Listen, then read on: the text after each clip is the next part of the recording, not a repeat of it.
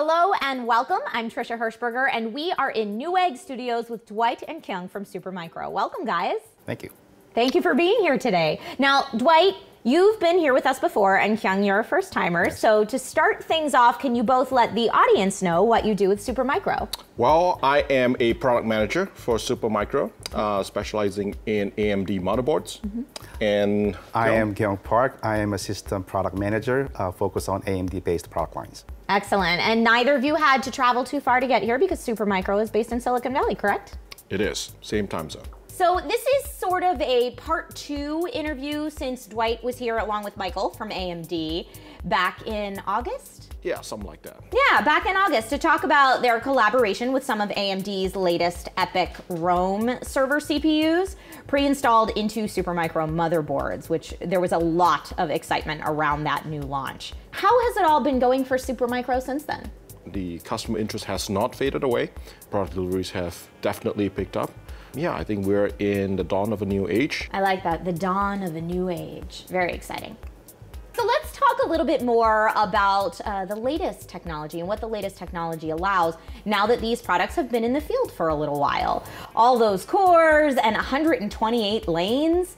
So what does that allow users to do better than they could before? With a twice of the number of the cores and a higher frequency of CPUs that allows for a faster and a bigger memory footprint. Mm -hmm. So there's a lot of uh, product lines that are out there in the market, but for our side, the previous uh, generations that had a lot of lanes, and then today is also had a same PCI lanes, they can be able to enhance the workload for the uh, customers. So I think that's a, probably one of the main focuses today. So I think basically from Naples to Rome, from the first gen to second gen EPYC uh, uh, server processors, we have gone from the largest number of cores in the industry, 32, to twice that, you know, 64 per socket. We've also gone from pretty fast memory to the fastest memory available currently, which is 3200 megahertz.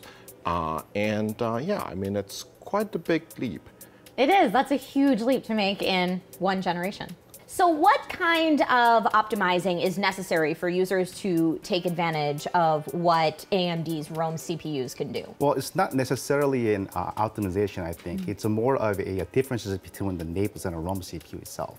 So the biggest, the, one of the biggest the key uh, takeaway from the uh, Rome CPUs are the CPU core count. Mm -hmm. It's actually a doubling. And then the, because of the PCIe uh, coming from the Gen 3 to Gen 4, and then the memory speed gets uh, boosted up to 3200. So because of that reasons, in order for you to take full advantage of the Rome uh, product lines, we have to build a different motherboards to accommodate all that features that Rome is providing to the world.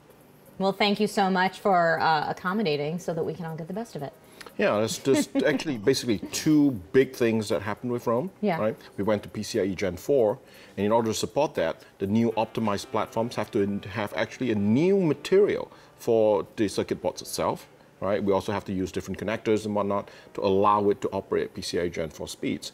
Now, to support the fastest memory possible, 3200 megahertz, we are actually able to do that for, both boards that were designed for the first generation processors and those that are optimized for the second gen. That's actually not an easy feat, but we're able to do that. So regardless of which Supermicro board that you choose, um, you know, with a Rome processor, you will be able to run at the fastest memory speed currently available. Very exciting. Supermicro has a pretty huge product line. Can you take us through some specific highlights that you're particularly excited about right now? So right now, the Q4, a lot of people are interested in a, a Rome-based platform. So all our customers are talking about Gen 4, mm -hmm. higher core count, the uh, uh, bigger and faster memory speed. So all those has been a great, uh, you know, focal points. So that for our side, we have some kind of a servers or broad range of servers that can be able to accommodate all that. So uh, Twin Pro, for example, so this particular one as an example, it's a multi-node 2U form factor with your four different servers that are inside in the chassis that can be able to accommodate a lot of uh, core counts and then the, a lot of uh, uh, memories so that people who are be able to uh, use a uh, compute intensive uh, applications or some whatnot can be able to use something like this moving forward. So key features on this particular product line is that a disaggregated design on the uh, networking port where we can be able to swap out the networking portions so that customers do not have to change entire motherboard. So that's the, one of the key features on this particular product line. On the uh, Ultra side, for an example, uh, this basically is a uh, everything that the Rome has uh, offered to the market, we migrated and implemented to this particular server. Wow. What I mean by that is has a two uh, socket has a cores up to 128 cores, up to 256 the threads of the CPUs, and then top of that, he has a two DIMMs per channel design. 32 DIMM slots can be able to accommodate up to eight terabytes of memory. So because of that, a lot of customers who's looking for like uh, uh, memory intensive workloads or the uh, compute intensive workloads or even uh, the virtualization can be able to take a good advantage of these servers like this. Right, and that's your flagship solution, yes, the Ultra? Correct. Awesome. Well, let me give you some juicy bits here. I like juicy bits. Let's do it. All right, now take a look at this thing. All right, this is three and a half inch thick. It's mm -hmm. two rack units, three and a half inch thick for this uh, Twin Pro solution here. Within this, we have four, you know, separate computers, if you will, four nodes, okay? And each one of them can have a 64-core processor. What that means is that in this little thing that is thinner than many briefcases, really, you can have up to 256 cores, 512 threads. Now, if that's not enough for you, we actually have a solution that allows you to have eight processors, 512 cores, 1,024 threads in that size.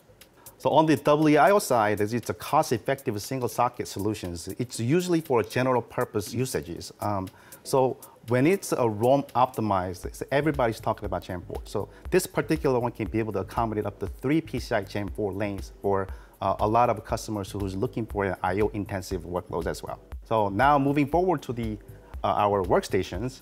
So the, um, this is basically another standard form factor solutions that mainly geared towards the uh, uh GPU users. GPU users who are into a like AI -hmm. or the uh, some kind of uh, uh, rendering. Mm -hmm. people like those can be able to use something like that to take advantage of our tower and at the same time, this is uh, rack mountable so that people doesn't have to put that on the side of their desk. Great. You can actually mount it into the rack itself. Mainstream uh, servers that are uh, another standard uh, form factor servers that is basically for a integrated SAS version of the mainstream so that people who doesn't need to buy separate uh, cards to accommodate the connectors. Great. We just went through so much. Thank you. Um, with products like those, who are your typical customers and clients? Well, so our customers varies from you know the high performance computing to a um, GPU users. So customers who are looking for like a desktop versions or something like the uh, densities or something that has a 1U, 2U form factors with a lot of core counts and whatnot. So there's a lot of customers are out there, but we are mainly focusing on customers that are in the high performance computings and the GPU users or even a general purpose usage of the customers. Well, generally, you see, when, when somebody, when a home user buys a computer, mm -hmm. or even a, a, professional buys a computer, it usually sits on the desk, or sits next to the desk, or sits under the desk, and you have one computer. Right. Right. But but in a data center, when you buy a server, it typically sits on a rack, and sometimes they have like 30 servers on a single rack, and a lot of racks in a single data center. It's a completely different environment, if you will, mm -hmm. right? and a lot of focus is on getting the most amount of computing power into the smallest number of space, right, in a solution that can run 24 7, mm -hmm. A mm-hmm. solution that is reliable in that environment, that is dependable, and which is serviceable and remotely manageable.